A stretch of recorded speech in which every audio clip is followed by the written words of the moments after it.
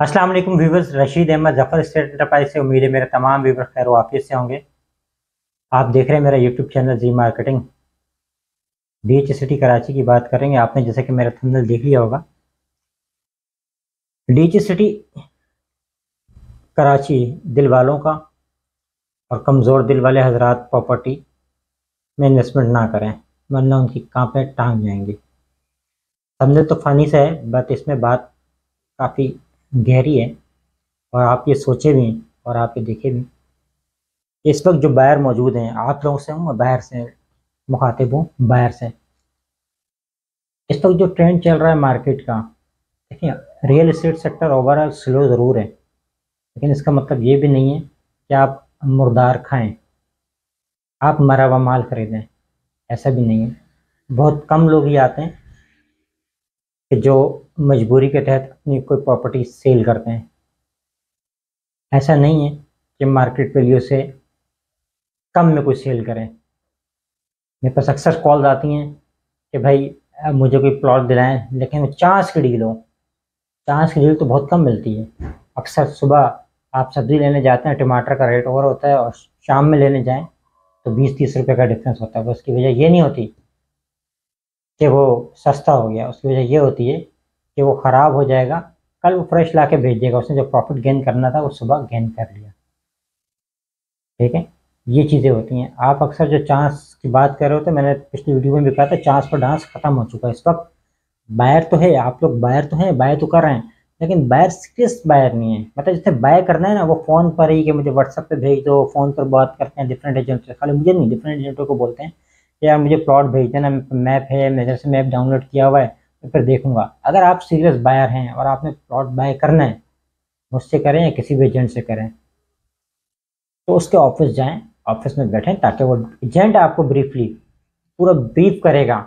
Map में आपको plot भी दिखाएगा, पूरे डी सिटी का मास्टर प्लान आपको दिखाएगा कौन कौन से सेक्टर्स हैं वो बताएगा, कितने स्क्वायर यार्ड के प्लॉट हैं वो बताएगा, उसके प्राइसेस बताएगा, आपको माइंड मेकअप करेगा। देन आप परचेज करें। जब आपको समझ में आ जाए, ऐसे ना करें। और कमज़ोर दिल वाले हजरात तो बिल्कुल ना करें प्रॉपर्टी में इन्वेस्टमेंट चाहे वो किसी की भी कहीं पर भी इन्वेस्टमेंट हो, चाहे डीचे सिटी की हो टाउन की स्कीम की स्कीम फोर्टी फाइव की, किसी कॉलोनी की, किसी टाउन की, किसी अपार्टमेंट की, वो नहीं करें। वो कमज़ोर दिल है उनका। देखिए प्रॉपर्टी में उतार चढ़ाव आता रहता है। प्रॉपर्टी में उतार चढ़ाव आता रहता है। इस तरह आप देखते हैं, कभी भी आप मार्केट में कोई भी चीज़ देखने जाएँ, कभी भी आप घर में सब्ज़ी लेने जाते हैं गोश्त लेने जाते हैं या कोई भी वोट शॉपिंग करने जाते हैं तो मार्केट में जाते हैं तो आप जब कल गए थे, कल से मुराद एक हफ़्ता पहले गए थे और आज आप जाते हैं तो रेट मुख्तलिफ़ होता है। अब ऐसा नहीं है। ऐसी बात है, महँगाई बढ़ रही है ना कि रेट एक जैसा नहीं रहेगा। फिर आप कहते हैं, नहीं जी, इसकी ये वैल्यू लगा दें। वो कहेगा एक रुपया, आप उसको ऑफ़र देते हैं चवन्नी की। ऐसा नहीं होता। एक रुपये का मतलब होता है कि चले जी, पचानवे पैसे में, अट्ठानवे पैसे में डील हो जाए। ये तो पॉसिबल है, लेकिन चवन्नी की जब ऑफ़र देते हैं ना तो अगले के बाल भी उड़ जाते हैं। तो इसी तरह प्रॉपर्टी के अंदर भी हैं। प्रॉपर्टी में भी जो एक करोड़ रुपये का प्लॉट है, अगर आप उसको ऑफ़र देंगे अस्सी लाख रुपये की, वो कभी नहीं मिलेगा। इसका मतलब यही है, वो एजेंट आपका मेहनत ही नहीं करेगा, वो कहेगा नॉन सीरियस बायर है। उसको तमीज़ ही नहीं है प्लॉट लेने की, उसको तमीज़ ही नहीं है प्रॉपर्टी में इन्वेस्टमेंट करने की। फिर एक और कमज़ोर दिल वाले कि देखिए मार्केट की प्रैक्टिस है। आज जो गरीब है, वो गरीब से गरीब तर होता जा रहा है। इसलिए अक्सर वो मैं यूट्यूब पे वीडियो देखता हूँ, एक अमेज़ोन के बहुत अच्छे सेलर हैं। डिफरेंट उनके ऑफ़िस भी हैं और इस पर यू में रहते हैं। वो ये कहते हैं, गरीबों, एक वर्ड यूज़ करते हैं, गरीबों। गरीबों, तुम जॉब नहीं करो। गरीबों, तुम नौकरी मत करो। गरीबों, कारोबार करो। तरक्की करो। तो कारोबार प्रॉपर्टी भी एक कारोबार है। इन्वेस्टमेंट जो होती है ना बेसिकली कारोबार है। इसमें प्रॉफिट भी होगा और लॉस भी होगा, उतार चढ़ाव आएगा। लेकिन प्रॉफिट के चांसेस भी ज़्यादा होते हैं। वो आप पर है, आपके माइंड पर है। आप आज लें, कल उसके पैसे बढ़ जाएँ, आपकी किस्मत है। कल उससे कम हो जाए, आपकी किस्मत है। लेकिन एटलीस्ट जब भी प्रॉपर्टी में इन्वेस्टमेंट करें तो दो साल के लिए लाजमी करें। आपका माइंड इतना होना चाहिए कि दो साल के लिए। उस एजेंट को ही बोलें कि यार ये प्लॉट मैंने तुमसे बाय किया ये दो साल बाद के अंदर अंदर अगर कोई वैल्यू बढ़ती है तो उसको सेल कर देना, मुझे दूसरी जगह दिला देना, अगर आपने करनी है इन्वेस्टमेंट तो। अगर आपने लॉन्ग टर्म रखना है, और बीच में आपके पेट के मरोड़ पेट में मरोड़ जाते हैं कि यार मुझे सेल करना है, और उसमें वैल्यू डाउन हो तो भी माइंड में, जहन में रखें। वरना प्रॉपर्टी में इन्वेस्टमेंट ना करें, वरना आप कहीं पर भी इन्वेस्टमेंट कर लें। ये प्रॉपर्टी बैंक में पैसे रख लें और उसका सूद खाते रहें। बैंक में तो आप जो भी इन्वेस्टमेंट करते हैं, बैंक में पैसे रखते हैं, वो तो सूद है। ये प्रॉपर्टी में इन्वेस्टमेंट जो है प्योरली हलाल है, क्योंकि इसमें लॉस भी हो सकता है प्रॉफिट भी हो सकता है। फिर एक और चीज़, कि वो जो बात कहीं से कहीं निकल गई, वो शायद जो है वो गरीबों का वर्ड इसलिए यूज़ कर रहा होता है कि आप लोग क्या करते हैं, जो आजकल बाहर आए हैं जो मार्केट प्रैक्टिस है ना, उस पर चलना पड़ता है। एक प्रॉपर्टी की वैल्यू है एक करोड़ रुपये सपोज़ मार्केट वैल्यू उसकी। और एफबीआर वैल्यू कितनी है? छः हज़ार रुपये पर स्क्वायर यार्ड, सेक्टर वन और सेक्टर थ्री के अलावा, जितने भी डी सिटी की बात करता हूँ छः हज़ार रुपये पर स्क्वायर यार्ड है। तो वो एफबीआर की वैल्यू कितनी बनती है? तीस लाख रुपये और मार्केट वैल्यू क्या है? एक करोड़ रुपये मार्केट प्रैक्टिस यह है कि जो एफ़ बी आर वैल्यू, उसका एग्रीमेंट बनता है और एग्रीमेंट साइन होता है, सेलर और परचेजर साइन करते हैं, ऑफिशियल का पे ऑर्डर जो आपको तीस लाख रुपए का देना है। अब बैलेंस पेमेंट क्या होती है? बैलेंस पेमेंट, बाहर चाहे तो कैश ले लें, बाहर, सॉरी, सेलर चाहे तो कैश ले लें सेलर चाहे तो पे ऑर्डर ले लें, सेलर चाहे तो अपने नाम पे पे ऑर्डर ले, सेलर चाहे तो किसी के नाम पे भी पे ऑर्डर दें डी आपको ट्रांसफ़र देता है। ऐसा नहीं है कि डी ट्रांसफ़र नहीं देता।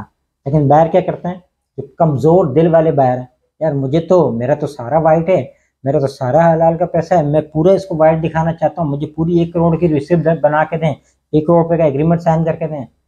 अच्छा जब वो पेपर जमा कराने की बारी आती है और टैक्स की जमा कराने की बारी आती है, फिर वहाँ आए, मैं शाये करता कहता है अच्छा तीस लाख रुपए के हिसाब से टैक्स जमा कराता हूँ वन परसेंट, टू परसेंट जो भी बनता है आजकल तो टू परसेंट है। टू परसेंट के हिसाब से एडवांस से जमा करा दो। क्यों भाई? जब तुमने हंड्रेड परसेंट का एग्रीमेंट किया है, एक करोड़ रुपये का आप एग्रीमेंट सिर्फ़ ले रहे हो तो एक करोड़ रुपये का जमा कराओ ना। ये बहुत कम बायर करते हैं। तो ये कमज़ोर दिल वाले जो बायर है ना, वो भी इन्वेस्टमेंट ना करें, क्योंकि उनको समझ ही नहीं आ रही होती, उनको एजेंट समझा भी रहा होता है कि भाई, आपको तो डी ट्रांसफ़र दे रहा है।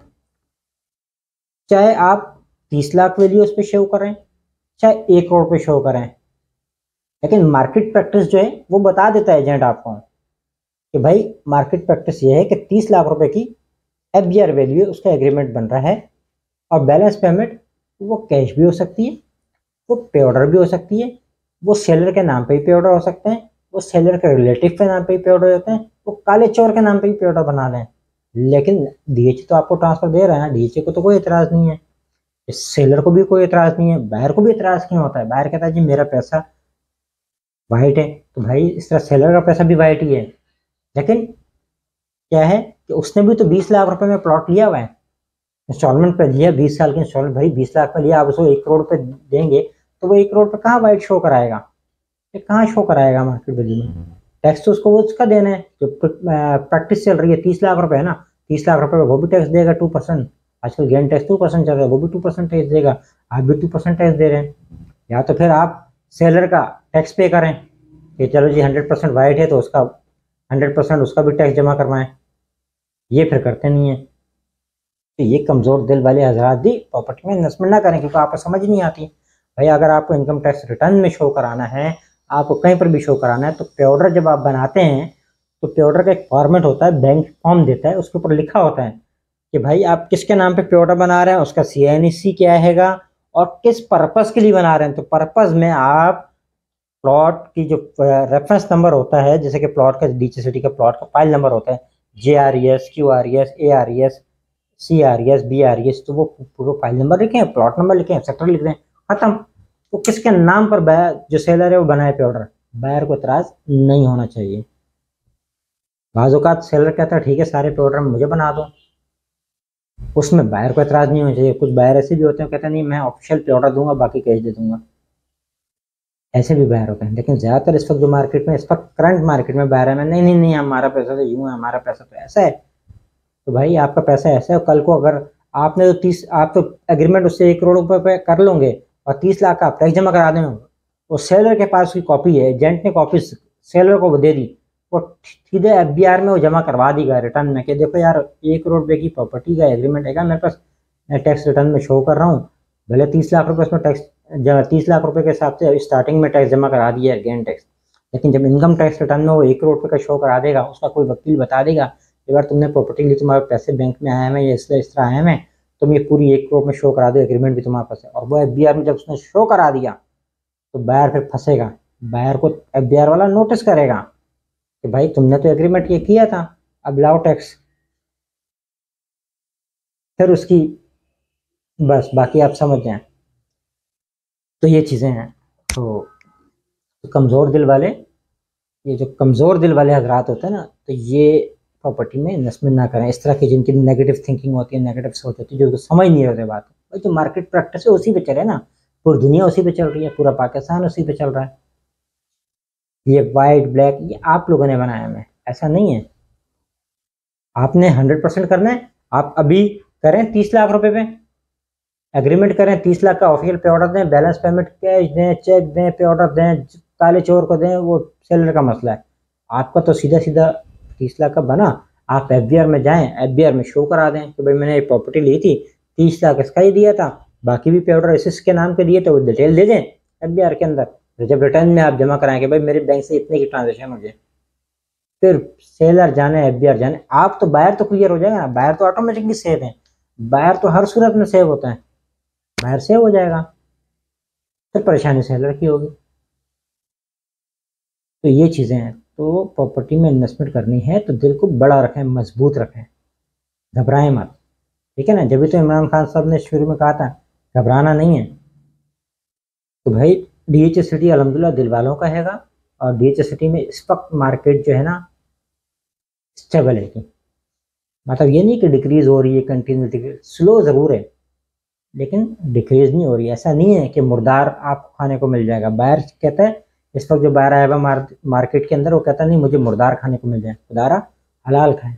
हलाल तरीके से ज़िबा किया हुआ खाएँ। तो मार्केट रेट है? मार्केट रेट पे चीज़ खरीदें।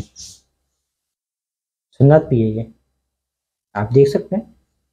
इस पर कितना काम हो रहा है रियल एस्टेट सेक्टर में। अलहमदिल्ला डी सिटी में तो आप चले जाएँ। मैं आज भी एक विज़िट करा के आया हूँ लेकिन बस वो साहब को मैंने बोला कि भाई आप आए मैं अंदर के सेक्टर में भी आपको लेके जाऊँ अंदर के सेक्टर में नहीं गए। अब वो मेन जिना उस पर कायद अजम में भी उन पर अलामा इकबाल एवेन्यू पे चलेगा, लेकिन आप अंदर की साइड पे जाएँगे, जैसे सिक्स ए बी में गए सी में डी में जाएँ डेवलपमेंट का काम हो रहा है। फोर्टीन ए बी में की तरफ़ फ्रंट पे खड़े हो गए सी डी में जाएँ डेवलपमेंट का काम हो रहा है।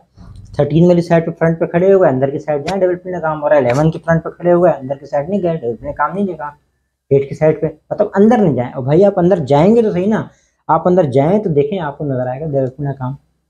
बहुत सेक्टर्स में डेवलपमेंट का काम हो रहा है, अलहमदिल्ला। मार्केट बहुत अच्छी है इस वक्त डी सिटी की बाइंग टाइम है।